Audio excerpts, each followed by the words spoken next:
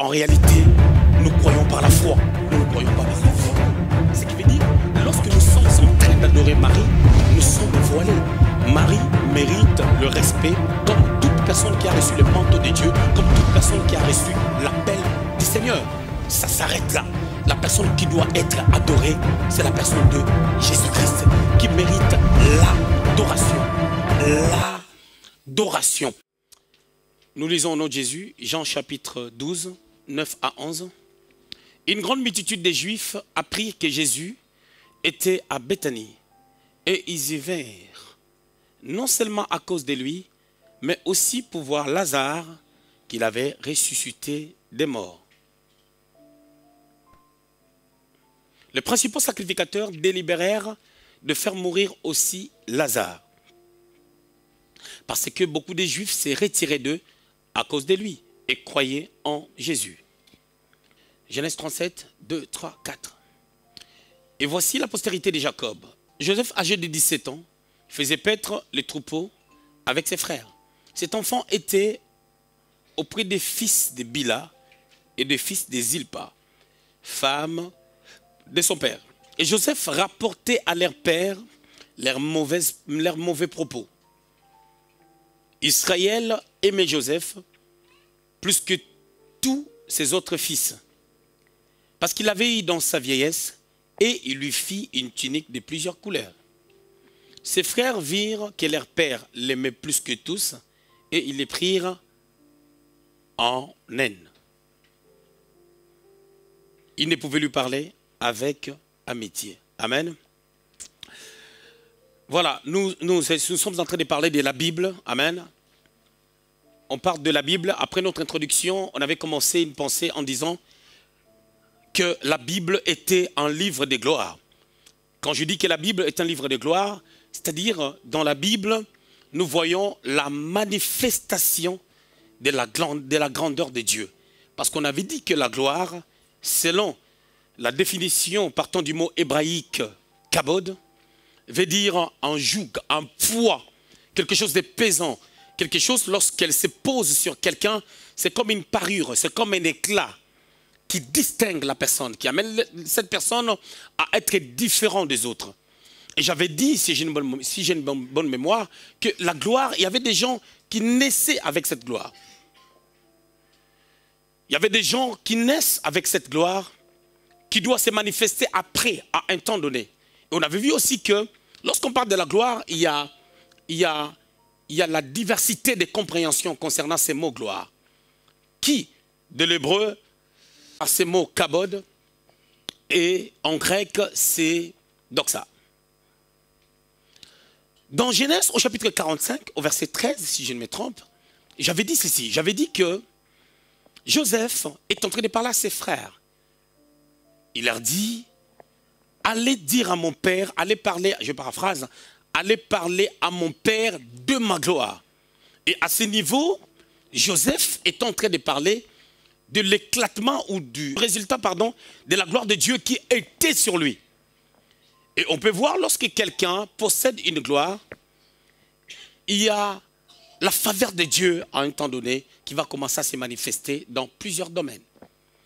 Mais je voulais déjà dire que Lorsque nous parlons de la gloire, la gloire a une diversité quant à sa manière de se manifester dans nos vies. La gloire n'est pas la richesse. La gloire n'est pas les matériels. Mais la gloire appelle ou attire le matériel. La gloire a pour origine Dieu. C'est Dieu qui est le donneur de la gloire. Nous remarquons dans le texte qu'on vient de lire, dans Genèse au chapitre 37, on nous parle de la personne de Joseph, qui, à cause de la gloire, c'est ça même le sujet ou l'objet de notre sous-thématique d'aujourd'hui, c'est que la gloire nous amène. Il arrive des fois, on n'a encore rien expérimenté d'une manière palpable. Mais les gens sentent que tu as quelque chose de particulier qui te diffère d'eux. Et souvent, les gens n'arrivent pas à réaliser que je possède quelque chose que les autres n'ont pas. C'est à cause de ces choses que je suis en train de vivre telle ou telle chose. C'est que la gloire Amen. Avant d'en arriver là, je voulais dire, dans Exode au chapitre 33, au verset 18 et 19, Moïse qui a séparé la mer rouge en deux, Moïse qui a vu de grandes choses avec Dieu, Moïse qui à un moment donné est en train de prier, ses mains étaient levées, lorsque ses mains baissaient, il y avait la défaite dans les camps d'Israël, lorsque ses mains montaient, il y avait la victoire. C'est grand Moïse-là qui était capable de pouvoir faire sortir de l'eau au travers d'un rocher. C'est grand Moïse qui a séparé la mer rouge en deux. Dans Exode au chapitre 14. C'est grand Moïse qui a manifesté les surnaturels, dit à Dieu, dans Exode chapitre 33, verset 18 à 19, il dit à Dieu, montre-moi ta gloire ou fais-moi voir ta gloire. C'est quelque chose d'extraordinaire, c'est quelque chose de bizarre. Est-ce que Moïse n'avait pas encore vu la gloire de Dieu? C'est par là que je voulais vous dire ce soir que la gloire a plusieurs dimensions, plusieurs paramètres. C'est vrai, Moïse avait déjà vu la gloire de Dieu qu'on appelle la manifestation de sa présence, la manifestation de son amour, qui se démarque d'une manière ou d'une autre, par ce qu'on peut voir d'une manière palpable, par ce que Dieu peut nous donner, ou par, euh, euh, je dirais, le Seigneur peut épargner même quelqu'un d'un accident. C'est une gloire de Dieu qui s'éclate. Quelqu'un peut faire un accident mortel. La voiture s'est réduite même, mais la personne sort sans problème. J'en ai vu. Ça, c'est la gloire de Dieu qui se repose sur la personne. Et cette gloire crie, tu ne mourras pas, tu vivras et tu annonceras les œuvres de l'Éternel. Moïse demande à voir la gloire de Dieu. Mais il avait déjà vu la gloire. Mais pourquoi il pouvait demander encore la gloire de Dieu Et on sent par là, par ricochet, on peut comprendre que la gloire, c'est quelque chose qu'on doit désirer. Étant enfant de Dieu, étant chrétien, on doit chercher à tout prix à expérimenter Dieu sous plusieurs facettes. On peut les voir tranquillement dans les évangiles. L'évangile selon Matthieu, l'évangile selon Jean n'est pas pareil. Mais tous ces évangiles parlent de Christ parle des œuvres de Christ. C'est comme les livres des actes des apôtres parlent des œuvres des, apôtres par la puissance du Saint-Esprit. Et les évangiles parlent des œuvres de Christ par la puissance du Saint-Esprit. Et nous remarquons que dans, le livre, dans, dans les livres des évangiles, parce qu'il y en a plusieurs, il y en a quatre, Jean n'a pas parlé de Jésus comme Matthieu. Matthieu a parlé aux Juifs il a parlé de Jésus comme étant le Fils de Dieu, mais par contre, Jean a parlé de lui comme étant la parole faite chair. Il a parlé de lui comme étant Dieu. Il a révélé comme Dieu. Et vous remarquerez même dans le livre de Matthieu, c'est Matthieu qui rapporte cette histoire de Matthieu chapitre 16, au verset 18, quand Pierre l'a reconnu comme le Fils de Dieu, comme l'envoyé de Dieu. Moïse désire voir la gloire pendant qu'il a déjà vu plein de choses.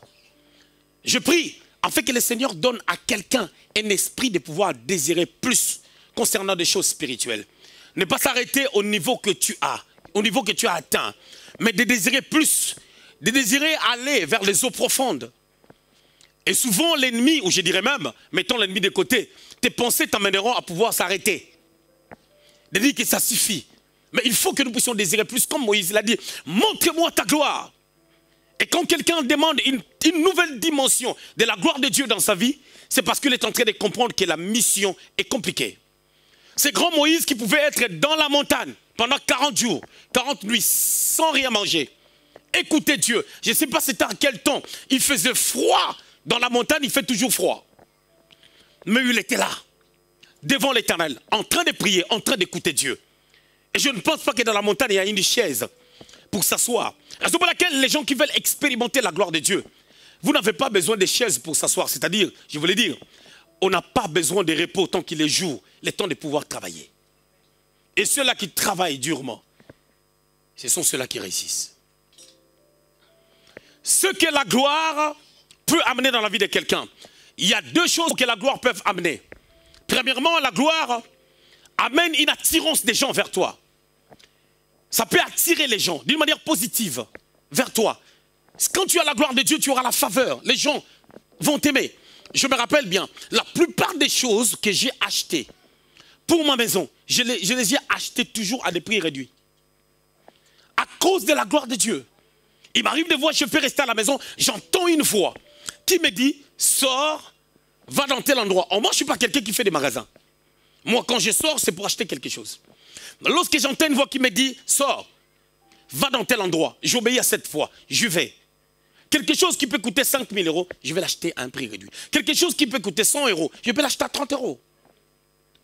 Lorsque la gloire de Dieu est sur toi, elle va t'attirer la faveur, la faveur des hommes. La faveur d'une manière ou d'une autre. Là où c'est difficile pour certaines personnes, pour toi, ça sera facile. À un temps donné. Bien entendu, tout se fait selon les temps de Dieu. Mais la gloire de Dieu et des ennemis attire aussi des problèmes. La gloire de Dieu attire la jalousie. La gloire de Dieu attire la haine des gens. La Bible déclare ce jeune homme, Joseph, son père l'aimait. Et parce que son père l'aimait, son père lui avait donné une tunique à plusieurs couleurs. En réalité, selon, selon la culture des patriarches, celui qui pouvait porter cette tunique, c'est le fils aîné. Et même dans l'ordre de la maison, si le père se sert à table, c'est ce fils-là qui a la robe bigarrée, multicolore, qui doit se servir après le père. Mais par contre, lui, il n'était pas l'aîné de la famille, parce que l'aîné de la famille, c'était Ruben. Mais c'est lui, Joseph, qui avait cette robe. La Bible dit son père l'aimait. La Bible rajoute un détail. Je ne contredis pas la Bible, mais je vous l'ai dit que la Bible dit parce qu'il l'avait eu dans sa vieillesse. Mais je crois que cela allait au-delà de ça parce qu'on voit par la suite combien Joseph a été une grande bénédiction par rapport à sa famille. Combien Dieu s'est servi de lui dans cette génération comme un pilier, comme une manifestation de la gloire de Dieu, comme un représentant typique de la gloire de Dieu. Et c'est Joseph avait cette robe-là. Joseph avait un problème de sagesse. Normalement, selon les contextes, il avait ces problèmes parce qu'il était jeune. La Bible dit, il rapportait tous les mauvais propos de ses frères à son père. Tous leurs mauvais propos, ce qu'il disait. S'ils disent Jacob, il a une grosse tête, il va rapporter. Ruben a dit que tu avais une grosse tête. Est-ce que c'est un problème de sagesse ou c'est un problème d'être vrai? Je ne sais pas. Alléluia. Alors, s'il pouvait rapporter des mauvais propos de ses frères, c'est qu'en lui, il n'y avait pas de mauvais propos. Donc, par là, je comprends qu'il n'y avait pas un problème de sagesse. Mais il était vrai avec celui qui l'aimait. Alors, il se disait, je ne peux pas cacher ces choses à mon père qui m'aime. Mais à quel niveau je peux parler de la sagesse de Joseph? Peut-être par rapport à la manière dont il ramenait ses songes. La Bible nous, nous rapporte deux songes. Mais je crois qu'il y en avait plusieurs. Et ces deux songes, il les a ramenés à ses frères et ses frères n'étaient pas contents. Mais on ne peut pas parler de, la sagesse aussi à ce niveau. Pourquoi? Parce qu'il était jeune. Il avait 17 ans. Qu'est-ce qu'il peut connaître à 17 ans? Ça peut être un problème de la sagesse pour nous. Pour les personnes qui sont plus âgées. Mais je dirais, même si tu prétends être sage, il y a des choses que Dieu permet des fois, afin que tu entres vraiment dans ta destinée. Amen. Donc, à ce niveau, on ne peut pas juger Joseph d'une personne qui n'est pas sage. Alors écoutez, parce qu'il était dans cette position, parce que c'était un songeur, parce que c'était quelqu'un qui rapportait ce que ses frères disaient contre leur père, des mauvais propos, la Bible souligne très bien, c'était des mauvais propos. Ce n'était pas des bons propos, des mauvais propos. Et en disant des mauvais propos à l'égard de son père, normalement, on peut avoir une malédiction. Alors il disait à leur père, et peut-être dans le but de pouvoir arrêter ça pour que ses frères ne soient pas maudits. Alors peut-être, je ne pense pas qu'on doit parler de la sagesse à ce niveau. Il était un homme vrai, Joseph. Il était un homme vrai. Mais cette gloire lui attire aussi des problèmes. Parce qu'il était dans cette position, parce qu'il était proche de son père. Ça lui a créé des problèmes. Mais la Bible n'a pas dit que, au-delà des problèmes que Joseph avait à cause de la position qu'il avait auprès de son père, Joseph avait un comportement bizarre. La preuve est que lorsqu'il a eu des soucis, lorsqu'on l'a jeté dans la citerne, il était parti rendre visite à ses frères. De bon cœur, il accepte ce que son père lui demande pour aller vers ses frères. La preuve est que lui n'avait pas de problème avec eux, mais c'est eux qui avaient des problèmes avec Joseph. Joseph avait des problèmes avec ses frères, non pas parce qu'il avait la poisse, non pas parce qu'il était problématique, mais il avait des problèmes à cause de la gloire qui était sur lui. Parce que la gloire se manifeste, la gloire s'impacte. Celui qui a la gloire de Dieu va commencer à voir le futur de sa propre personne. Celui qui a la gloire de Dieu aura une certaine manière de se comporter. Celui qui a la gloire de Dieu, sa tenue vestimentaire sera autrement. Celui qui a la gloire de Dieu ne met pas de pantalons déchirés. Celui qui a la gloire de Dieu ne baisse pas les pantalons. Celui qui a la gloire de Dieu, c'est une femme, on ne verra pas sa poitrine. Celui qui a la gloire de Dieu se conserve, se préserve. Et là où il a une certaine manière de vivre, une certaine manière de se comporter, une certaine manière de parler, une certaine aisance dans la vie, une certaine manière de concevoir les choses lorsqu'on a la gloire de Dieu. Et la gloire de Dieu attire les problèmes. C'est par là que j'atterris dans, dans la suite de notre pensée sur la personne de Lazare, qui était l'ami de Jésus. On a lu un texte qui suit tout de suite sa résurrection. Au chapitre 11, à partir du premier verset jusqu'en bas, jusqu'à 44, jusqu'à jusqu'à jusqu'au jusqu'à 45, 46 par là, on nous parle de la maladie de Lazare. On parle de l'information que Jésus a reçue à l'égard, disons, euh, euh, euh, parlant de cette maladie. On parle du travail que le Seigneur est en train de faire pour que Lazare puisse connaître la résurrection. Et on voit combien, pour que Jésus puisse ressusciter Lazare, il avait besoin des gens qui devaient rouler la pierre. Il devait enlever la pierre. Combien par là nous pouvons comprendre que pour que le miracle arrive, il faut ton apport. Il faut que tu fasses quelque chose. Tu dois être un vase par lequel le miracle doit passer. Ou je dirais mieux, ton attitude, ton comportement t'amènera à entrer dans la manifestation de la gloire de Dieu, qui a priori est sur toi, mais cette gloire-là est cachée. La Bible regarde à Ephésiens au chapitre 1er, au verset 3 à 4, Dieu nous a bénis de toutes les bénédictions spirituelles dans le lieu céleste. En d'autres termes, cela veut dire ceci. Nous avons tout, toutes les bénédictions, mais ces bénédictions-là sont dans les lieux célestes, c'est-à-dire ces bénédictions sont auprès de Dieu. Il faut que ces bénédictions qui sont en nous ces bénédictions qui nous appartiennent deviennent vitales dans notre vie. Sur le plan légal, ces bénédictions nous appartiennent. Mais il faut que ça soit palpable. C'est-à-dire c'est une dimension où la gloire est là et la gloire doit s'éclater. Mais pour que la gloire s'éclate, il y a un temps où la gloire doit se manifester, où la gloire doit s'éclater d'une manière palpable. Je voulais expliquer. La gloire, au début, ça dessine, ça donne des panneaux qui démontrent qu'il y a la gloire l'image de la robe de Joseph. Mais il y a des moments où ça ne sera plus l'affaire de la robe, il y aura des moments où ça sera l'affaire de la gouvernance de l'Égypte. Parce que la gloire s'est éclatée, parce qu'on est arrivé là où il fallait. Et nous voyons ici la personne de Lazare qui était à mort. Lazare, après sa résurrection, la Bible déclare que les gens venaient. Là où ils étaient à Bethanie, non loin de Jérusalem, à 15 stades de Jérusalem, non pas pour voir Jésus. Là, on est dans Jean chapitre 12. Les gens venaient, non pas seulement pour voir Jésus, mais aussi pour voir Lazare que Jésus avait ressuscité des morts. Lazare qui était mort. Je voulais dire à quelqu'un, tu es enfant de Dieu. Tu es sauvé, tu es né de nouveau. Les gens savent que tu fréquentes une église.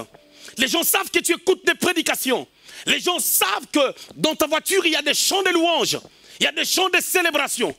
Et ces gens-là qui s'approchent, ils ne s'approchent pas seulement pour voir Jésus en toi, mais ils veulent voir réellement si tu as été ressuscité. Parce que ceux-là qui sont encore dans le monde, ils sont comme des morts. Ils n'ont pas la vie. La Bible déclare ceci. Je suis venu en fait que mes brebis aient la vie. Jean 10, 10. Et qu'il aient en abondance. Nous avons une vie en Jésus.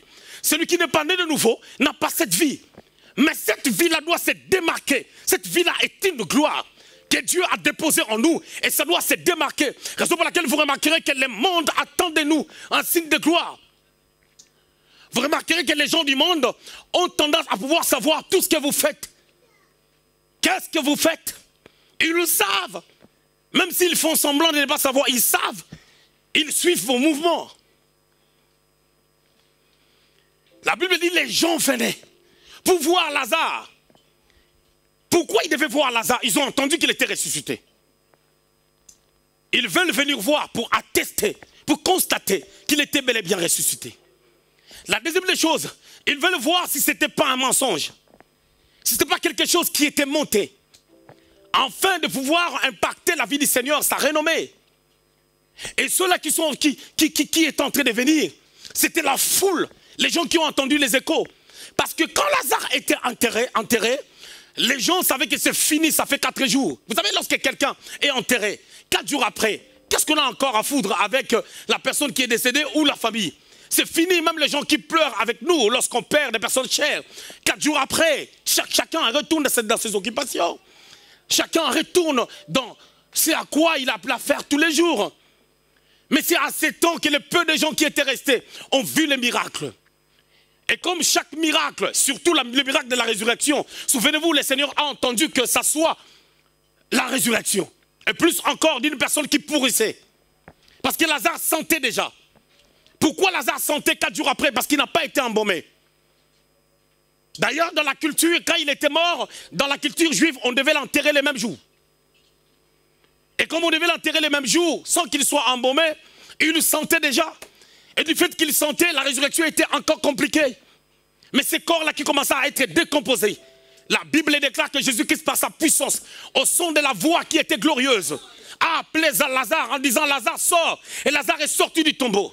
Les nouvelles se sont éparpillées dans la ville, en Jérusalem, partout en Israël, qu'il y a un homme, celui que Jésus aimait, celui qui s'appelle Lazare, est ressuscité. Les gens sont venus, comme toi dans ta vie. Les gens s'approchent pour te voir parce que tu es Lazare. Tu es l'ami du Seigneur. Parce que celui qui marche avec Dieu devient l'ami de Jésus. Mais les gens viennent voir ta vie. Est-ce que tu as toujours la même vie? Est-ce que tu parles toujours de la même manière? Est-ce que tu agis toujours de la même manière? Est-ce que tu réfléchis toujours de la même manière? Parce qu'autrefois, vous étiez ensemble dans des boîtes de nuit. Autrefois, vous étiez ensemble dans des bars. Autrefois, vous étiez ensemble en, prenant le mari des gens. Autrefois, vous étiez ensemble en train de draguer. Autrefois, vous étiez ensemble en train de magouiller des choses. En train de, mettre des faux papiers ensemble pour avoir des crédits. L'autre fois, vous étiez ensemble en train de faire plein plein de choses. Maintenant, tu es ressuscité parce que tu es en Christ. La Bible déclare qu'en mourant, le vieux homme a été enterré et nous étions ressuscités avec Christ. Parce que quand il était ressuscité, c'est avec nous qu'il était ressuscité. Nous ressuscitons comme les nouvelles personnes. C'est pour cela que la Bible déclare dans 2 Corinthiens 5, 17, si quelqu'un est en Christ, il est une nouvelle créature, les choses anciennes sont passées.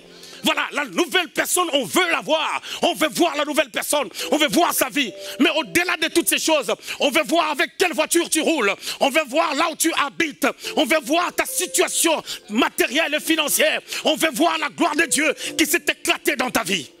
Joseph dit, la gloire, allez parler à mon Père de ma gloire.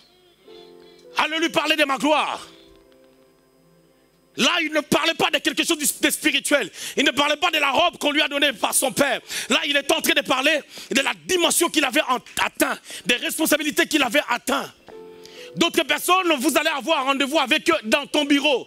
Ceux qui ne, te connaissaient pas, et un bureau, mais tu as un rendez-vous avec dans ton bureau. Et du coup, la bénédiction va parler.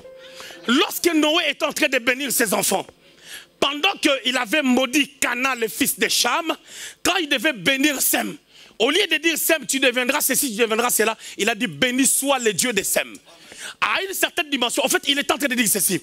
Lorsque la manifestation de Sem va s'éclater par ses descendants, en l'occurrence Abraham, Isaac et Jacob, on n'aura pas besoin de parler. On va voir ce que Dieu peut faire. On va dire qu'il y a un Dieu qui est le Dieu d'Abraham, le Dieu d'Isaac et le Dieu de Jacob. C'est pour cela lorsque Israël était dans le désert, en train de venir pour posséder la terre sainte, la terre promise, qu'est-ce qui s'est passé? Les gens ont entendu les échos que les descendants d'Abraham, d'Isaac et de Jacob, qui étaient esclaves, comme des morts pendant 430 ans, maintenant ils sont ressuscités, ils ont traversé le désert, ils sont en train d'arriver. Les gens inspiraient la crainte parce qu'ils ont entendu ce que Dieu était capable. Lorsque Dieu fait des choses dans ta vie, les gens atteindront une dimension de pouvoir dire Waouh tu n'auras pas besoin de parler. La gloire de Dieu va parler parce que la gloire parle. Quelqu'un qui est dans sa gloire, dans la gloire, ça se sent, ça se voit. Et ce qui vient de Dieu distingue, impacte, dégage un parfum. Ce qui vient de l'éternel.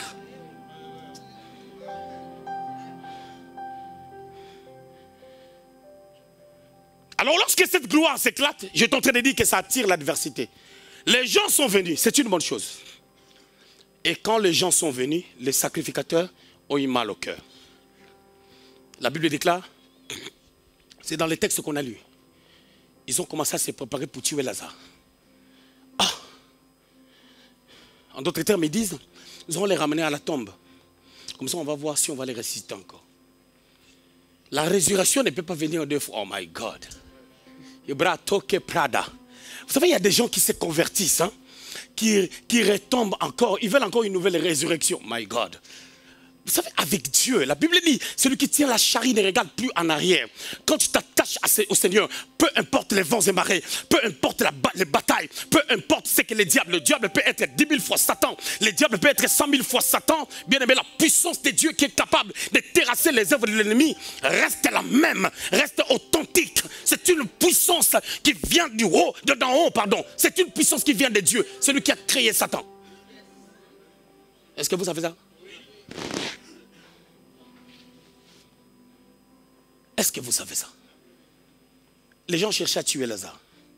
Bien aimé, la Bible n'a pas dit qu'est-ce que Lazare a fait pour qu'on ne les tue pas. Mais c'est que je sais. Dans le livre de Matthieu, chapitre 2,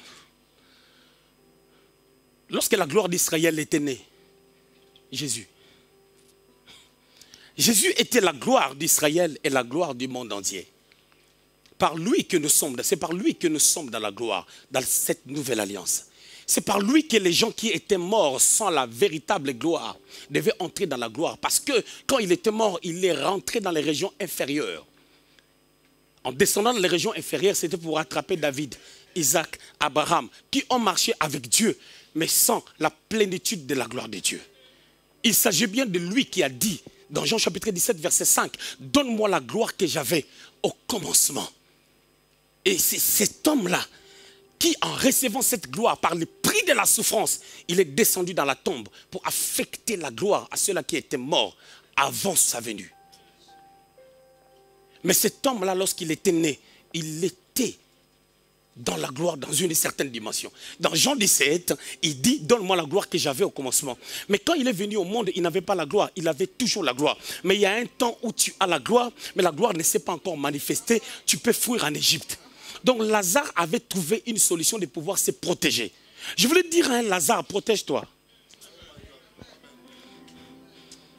Lazare, protège ta bouche. Protège ta bouche par rapport à ce que tu dis. Lazare protège, my God. La, come on. Lazare protège. Protège ton comportement. Tu es en train de te ficher. Tu es en train de t'exposer. Tu es en train de pouvoir te ridiculiser. Alors protège-toi, Lazare, parce que les principaux sacrificateurs veulent te tuer. Écoutez maintenant. Les principaux sacrificateurs, ce sont des personnes qui ont les rouleaux de la loi. C'est comme des gens qui ont la Bible en main, mais ils comprennent la parole à leur manière ils sont limités que par la loi de Moïse, pendant que la loi ne pouvait pas amener les gens à la perfection et que la loi n'était qu'un pédagogue pour nous amener à la gloire, pour nous amener à la grâce. Et il y a des gens, pour eux, les choses de Dieu, c'est encore la loi. Pourquoi? Parce qu'ils ne veulent pas abandonner leur vieux comportement. Et ce sont les principaux sacrificateurs qui cherchent à tuer Lazare. Pourquoi ils cherchent à tuer Lazare? Pour atténuer ou pour réduire, pour anéantir, pour faire disparaître ces grands témoignages. Parce que la foule venait pour croire au Seigneur. En voyant Lazare, il croyait au Seigneur. C'est la stratégie que les diables fait dans nos églises. Les diables cherchent en sorte que toi, tu te comportes toujours comme si tu es en Égypte, comme un mort, pour que les gens ne voient pas la gloire de Dieu. Bien aimé, quelqu'un peut être avec toi. La personne est dans le faux. La personne est dans la fausseté. La personne ne comprend rien. Mais attention, ça peut être un piège pour les diables, afin que toi, tu manifestes la colère de le parler mal, mal, mal, pour que ta chrétienté ne soit pas expérimentée. Et quand les gens verront vos conversations, vos dialogues, comment tu traites la personne, les gens vont dire, tu n'es jamais converti, tu n'es pas ressuscité, tu es encore mort. Ça devient un piège une stratégie du diable. Le diable, c'est un stratège, il sait. Le diable, c'est un stratège. Il te montre, il te montre que telle personne est dans des fautes. Juste question de tiriter. Bien aimé, la gloire attire des problèmes. Mais vous allez remarquer, quand ces gens-là complotaient contre Lazare, on ne voit pas là où Jésus a parlé. On ne voit pas là où Lazare a parlé. Celui qui est ressuscité ne parle plus beaucoup. Ce sont des œuvres de la résurrection qui parlent. C'est pour cela que quand Jésus était ressuscité, vous allez remarquer, il parlait moins, il faisait des apparitions. Quand il apparaît, c'est là où il parle. L'apparition parle déjà. Et les gens restent crispés. Quand la gloire de Dieu s'éclate, la gloire elle-même va s'occuper du reste. La gloire va s'occuper du reste. Mais nous, on veut faire tout. Je le vois même dans des églises, dans d'autres églises. Tu verras les pasteurs lui-même, il est protocole, lui-même il arrange les micros, les pasteurs lui-même il prêche, les pasteurs lui-même, et de temps en temps, tu verras les pasteurs lui-même il fait tout. Le pasteur lui-même il prend des jus, il donne aux invités. Et lui il croit qu'en faisant cela, il sort quelqu'un de humble. Non, quelqu'un de désordonné. tu sors pas humble, tu sors désordonné. Eh mais Lazare était où pendant qu'on cherchait à le tuer?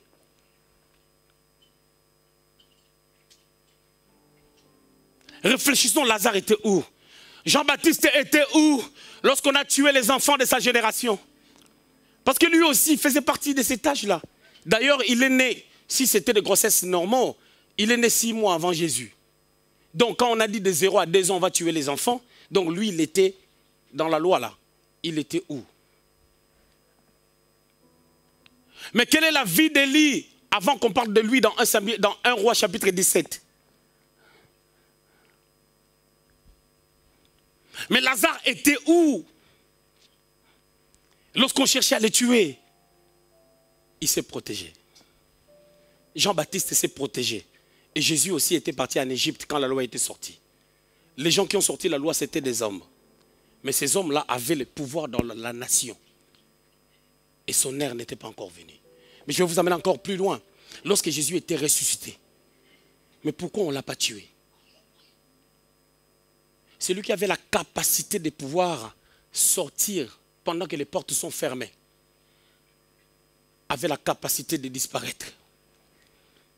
C'est sur base de la même onction que Élie a opéré. Dieu nous a fait voir ces choses dans la vie d'Élie, où l'Esprit l'emportait, l'amenait à un autre endroit. Élie, dans 1 roi chapitre 18, il rencontre Abdias. Il dit à Abdias une parole pour Akab. Abdias a dit, j'ai peur de lui dire que je t'ai vu parce que quand je lui dirai, quand on viendra te chercher, je ne sais pas l'esprit va t'amener où. Élie, l'esprit pouvait l'emporter, ça l'amène quelque part. Raison pour laquelle cette personne, quand il a commencé à se lamenter parce que je l'avais veut, veut le tuer, il est en train de pouvoir régner même la force spirituelle ou les dimensions que Dieu, la dimension de la gloire que Dieu pouvait manifester dans sa vie. Mais par contre, le cas de Jean-Baptiste, le cas de Jésus lors de leur naissance, vous allez remarquer que la gloire était là, mais cette gloire-là, si je peux utiliser ce terme, était masquée jusqu'au moment convenable. Et quand la gloire de Dieu s'éclate, quand je dis que la gloire était masquée, durant toute ta vie, il peut arriver que tu es dans la gloire. Tu as déjà été visité par Dieu. Tu as vu la main de Dieu. Mais il peut arriver que tu vois qu'il y a un temps où tu dois faire profil bas. C'est comme le cas de Lazare. Quand on cherchait à le tuer, il n'est pas sorti pour dire tuez-moi. Le maître est là, il va me ressusciter. D'ailleurs, c'est mon ami. Vous avez vu, quatre jours. Cette fois-ci, il est présent. Si vous me tuez maintenant, là, à 12 heures, à 15 heures, je serai ressuscité. Ça va devenir de l'orgueil. Et la Bible n'a rien dit. Mais je crois qu'il s'est protégé pour qu'on ne puisse pas les tuer. Parce que Jésus l'a fait. Luc chapitre 4, verset 18 à 19, il a dit L'Esprit du Seigneur est sur moi, car il m'a oint pour annoncer la bonne nouvelle aux pauvres. Ça a énervé les gens. On pouvait les tuer. La Bible dit Il passa au milieu d'eux. Parce que son air n'était pas encore arrivé. Il devait se protéger. Protège ta langue la langue, c'est un petit truc, mais ça peut embraser toute la forêt. Protège ta langue. Nous avons dans ce monde maintenant, surtout à ce temps, des donneurs de leçons, des conseillers non établis. Toi, je vois que tu es comme ceci. Hein.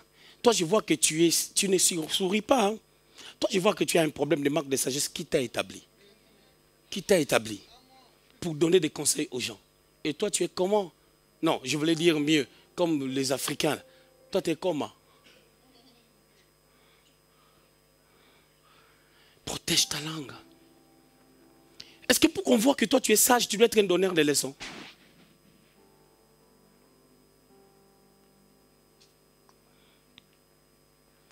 Si tu ne protèges pas ta langue, les sacrificateurs vont te tuer. Lazare, s'il ne s'était pas protégé, les sacrificateurs allaient le tuer. La gloire attire beaucoup de choses. La gloire amène les gens à t'acclamer. Mais c'est la même gloire qui m'a amené d'autres personnes à te critiquer.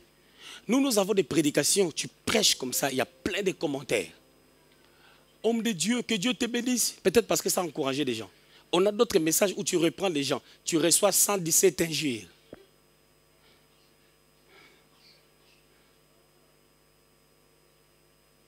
Mais la gloire de Dieu ne se repose pas sur les sentiments des gens, sur les émotions des gens. La gloire de Dieu, c'est la gloire de Dieu. Elle vient de la voûte céleste.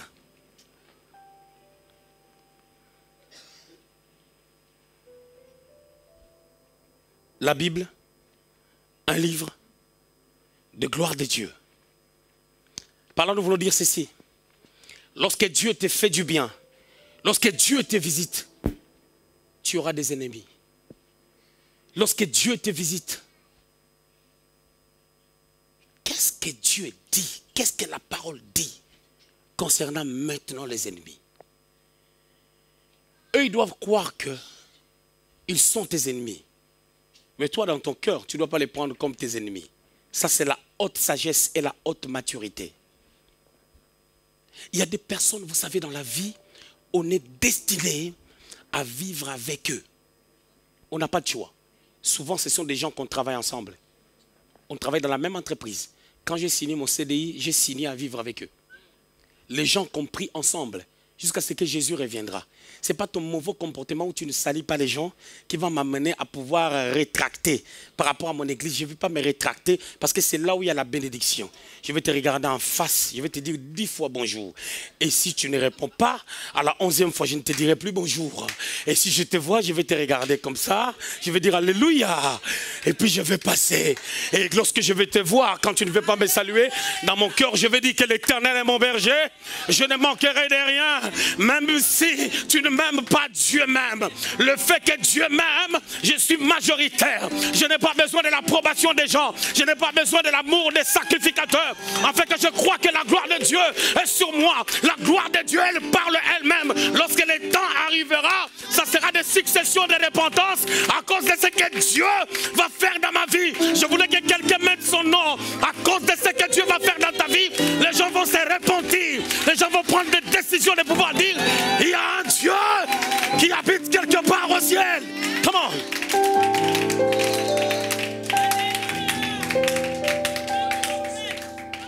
cette histoire de manque d'affection où tu veux des bonjours de tout le monde. Tu veux les sourires de tout le monde.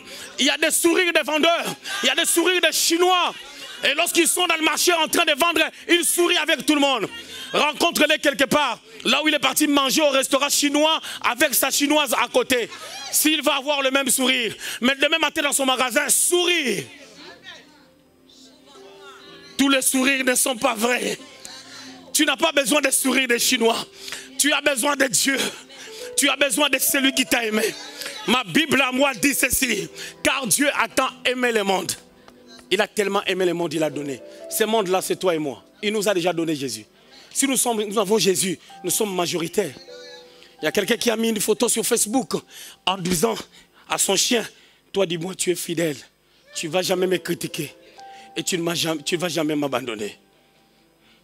Tu as été avec moi. Tu ne m'as jamais abandonné. Il parle à son chien.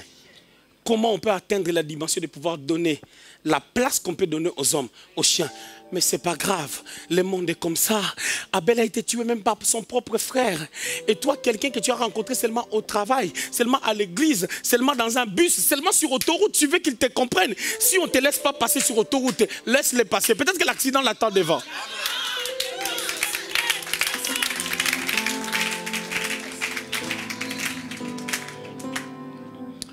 La gloire attire beaucoup de choses. Mais pourquoi Dieu permet que la gloire puisse attirer aussi des mauvaises choses? Parce que quand les mauvaises choses viennent, nous devons faire face à ces mauvaises choses.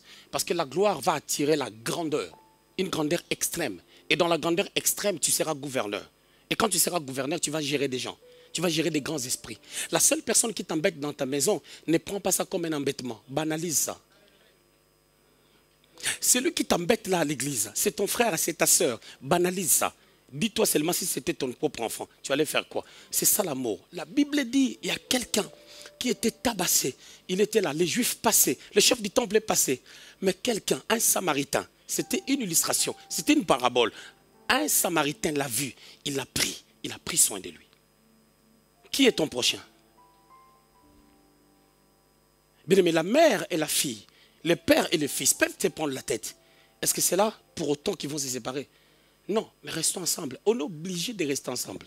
Même si tu changes 19 000 églises, il y aura toujours des gens. Mais le jour que tu vas aller dans une église où il n'y a pas de gens, tu diras que ça, ce n'est pas l'église parce qu'il n'y a personne. Alors nous sommes appelés à vivre avec. Que Dieu vous bénisse.